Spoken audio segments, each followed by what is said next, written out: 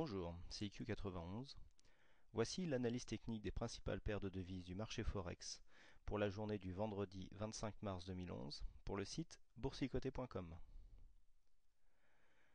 Sur l'euro dollar, nous commençons donc par l'avortement du, signal haussier euh, que nous avions anticipé euh, hier, enfin jeudi, puisque euh, nous étions préparés en cas de cassure ici des 1,4248 à aller chercher une extension de Fibonacci, mais on s'aperçoit que nous sommes revenus sur la base du retracement précédent, hein, à savoir les 1,4054, le plus bas de cette bougie étant un 1,4055,7, hein, donc euh, à 2 pips près nous sommes revenus ici sur ce, sur ce plus bas.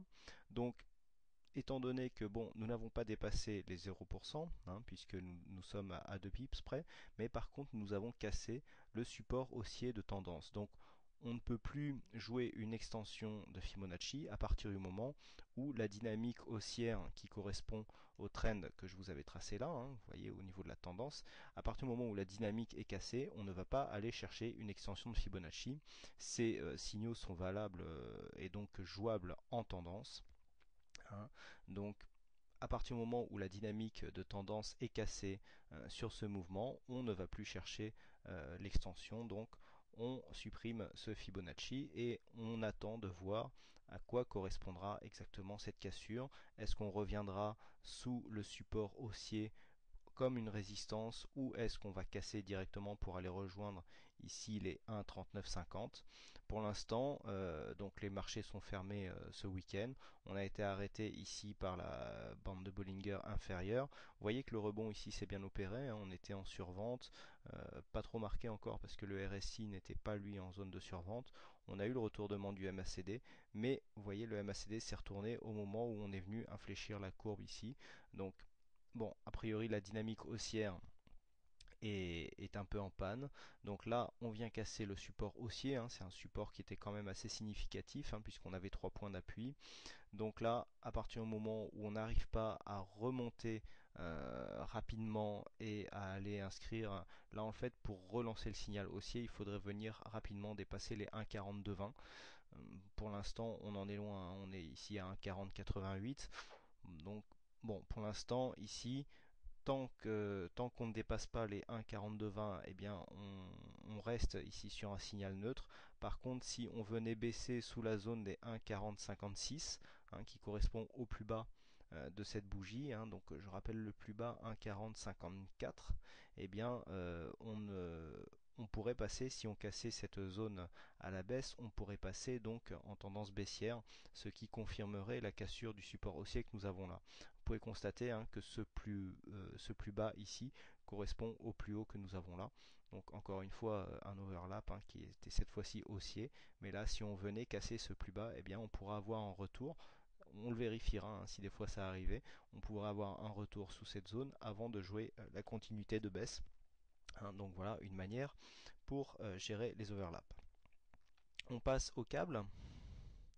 Donc sur la paire livre sterling contre dollar américain, voilà, on vient ici retracer l'intégralité euh, de, du, mouvement haussier que nous avions eu là. Hein. Donc on s'inscrit vraiment dans une tendance neutre, hein, puisque si on écarte, voilà, si on écarte la vue, on s'aperçoit qu'en fait depuis que nous sommes entrés ici dans ce dans cette zone le, le 31 janvier 2011, eh bien il n'y a pas vraiment de tendance. Hein. On avait cru à un moment qu'on prenait euh, ce support haussier, euh, on l'avait quitté pour marquer un, triple bottom qui n'était pas régulier, hein. donc on, ne l'avait pas vraiment signalé en tant que, comme figure en tant que tel, mais on avait eu une belle remontée, on avait cru ici lorsque nous étions revenus en support de cette ligne que la tendance allait reprendre, mais finalement nous avons une cassure qui confirme que nous sommes dans une formation plutôt euh, en range, à savoir donc pas de tendance marquée hein, donc sur ce sur cette zone. Vous voyez ici bon, je parle souvent des retournements qui sont donnés par le MACD. Attention, hein, aucun indicateur n'est parfait. On avait beau le corréler pourtant euh, au stochastique et au RSI qui était assez bas. Eh bien, vous voyez là le retournement, le rebond technique n'a pas eu lieu malgré une belle amplitude du MACD et donc un stochastique en survente. Donc je le rappelle, hein, quand on fait l'analyse technique, on parle de probabilité on aime bien, enfin moi personnellement j'aime bien se jouer ce genre de mouvement, mais ça arrive que ça rate et donc à partir du moment où on vient casser le plus bas de cette euh, précédente bougie, eh bien on considère que le rebond est avorté et donc on coupe la position, hein. on ne porte pas euh, sa perte. Là ici le signal est faux, donc on sort euh, dès qu'on arrive au point d'invalidation. Hein, voilà ce que l'on peut dire donc sur la paire livre sterling contre dollar américain. On passe maintenant au dollar yen. Donc dollar yen, bah, toujours euh, très peu de mouvement. Hein. Si on s'approche un petit peu, on voit qu'on commence à venir euh, à vouloir remonter. Euh, les bandes de Bollinger commencent à se réécarter. On va certainement revenir tester les 82 ici hein, pour confirmer donc ce, plus haut suite à l'intervention du, G7 pour éviter que le yen ne monte trop a priori, on, va remonter un petit peu. Il faudra voir vraiment au niveau des 82, voir comment euh, va se comporter cette paire pour essayer de dégager une tendance. Hein. Je rappelle les conditions très particulières pour trader cette paire euh, actuellement. C'est pas, euh, c'est pas, bon, pas vraiment des il y a de la volatilité, même si on, ne le voit pas ici, mais c'est dû à la forte amplitude que nous avons eue sur ces mouvements qui écrasent du coup le reste des courbes. Mais euh, il y a des mouvements qui sont quand même très dangereux sur, sur cette paire actuellement. Donc personnellement, je reste à l'écart de, du dollar yen et donc de l'euro yen qui va venir juste après puisque voilà nous avons le même genre de mouvement ici. On oscille entre dans une zone qui est compris entre 115,50 et ici un point bas 113,50 donc vous me direz ça fait 200 pips. Oui, mais euh, les mouvements sont, sont, encore aléatoires et vous voyez qu'ici, avec une grosse amplitude, euh, bah, si on prend, euh, si on prend une position au moment où il y a des, il y a des gros capitaux hein, qui sont échangés car le Japon a, voulu rapatrier énormément de fonds pour réparer un petit peu les, dégâts causés par le tremblement de terre et le tsunami. Et donc, euh, bien, ça fait des, mouvements euh, vraiment très amples, une très grosse volatilité. Et même avec des bons stops, eh bien, on peut euh, se faire sortir des fois à des prix éloignés de, de, ce qui était prévu à cause justement de cette forte volatilité, de cette forte rotation de capitaux. Eh bien, on assèche un petit peu la liquidité du marché forex, qui est pourtant un des marchés, enfin, qui est pourtant le marché le plus liquide du monde.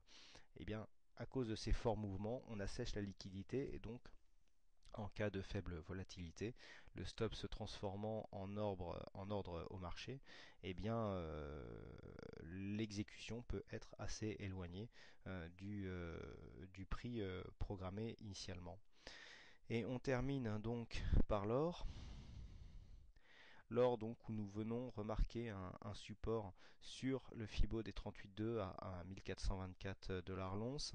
Alors vous voyez on avait, euh, on avait pris la tendance assez directe, on avait remarqué ici que suite à cette, euh, belle bougie euh, rouge, nous étions entrés en consolidation, on est remonté ici, la zone des, des 1436 a fait office de résistance puisque nous sommes venus redescendre, nous avons confirmé encore une fois une attaque sur le 38,2 avant euh, la clôture euh, des marchés. Donc nous sommes euh, sur 1430, une zone qui se trouve quasiment sur le, support ici de qui était, qui était un support horizontal qui était tracé auparavant. Au niveau des indicateurs, c'est assez neutre. Donc il faudra vraiment, en cas de cassure ici de cette zone des 1424, eh bien on pourrait attaquer rapidement les 1417, voire les 1410. Et c'est les 1410 qui nous diront si euh, eh bien, nous avons une, une rupture de, dynamique ici en ce qui concerne cette dynamique haussière qui nous avait marqué un joli gap. Donc dans un premier temps, le gap ici qui a été comblé, hein, puisque nous sommes, nous sommes venus le combler ici le, dès, dès, le surlendemain de l'ouverture, hein, le, mardi, eh bien euh, ce gap, on le voit, fait encore un petit peu office de support, puisque ici on n'est pas revenu totalement combler la zone avant de remonter, mais un comblement ici et une clôture sous cette zone pourrait nous donner un, effet d'accélération et donc venir, venir valider le retracement à 50% et pourquoi pas sur les 61,8 à 1410 dollars l'once. Voilà donc ce que l'on peut dire sur ces principales euh, paires de, devises et donc euh, l'or. Alors bah, vous avez été euh, vous avez été quelques-uns à, venir me voir au salon et je vous en remercie hein, des, contacts très très chaleureux, très très sympas. Ça fait plaisir.